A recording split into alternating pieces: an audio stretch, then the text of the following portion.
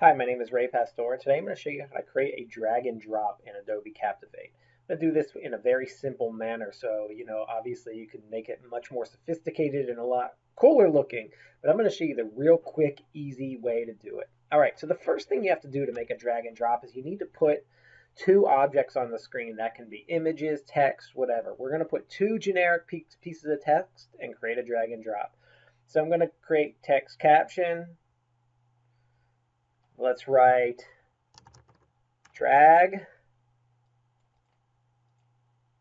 Let's move it over here. Let's make it a little bigger for you. Let's see, let's go to properties. Let's just make it bigger so that you can see it nice. All right, so we have drag.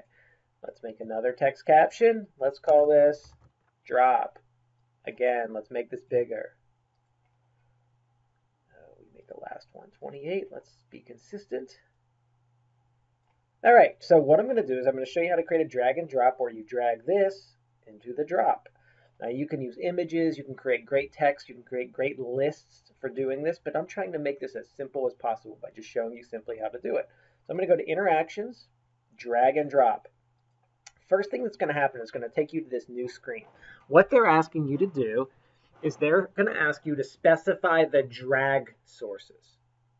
To specify the drag sources, you simply click on it. Now this is considered a drag source. So I would click, if I had 10 drag sources, I would click all of them. I'm going to click next. Now they want me to tell me what are the, specify the drop sources. Here is my drop source. Notice green and blue colors. I'm going to, when I've selected all of them, I'm going to click next.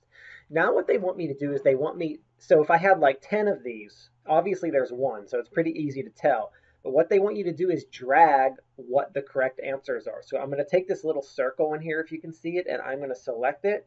And simply you can see the line forming. I'm going to pull it over to the correct answer.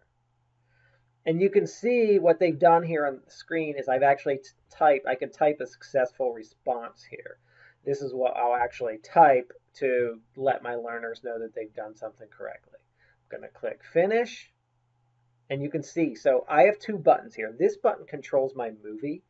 Let me move it over here.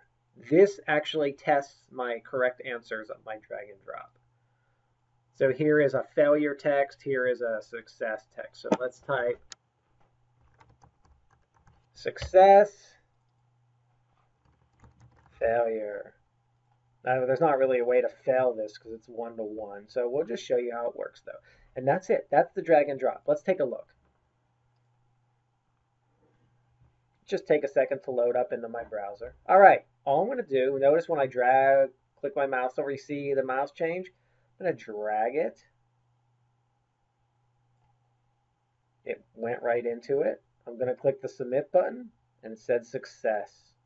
And went to my next slide. That's it. That's drag and drop. Thank you.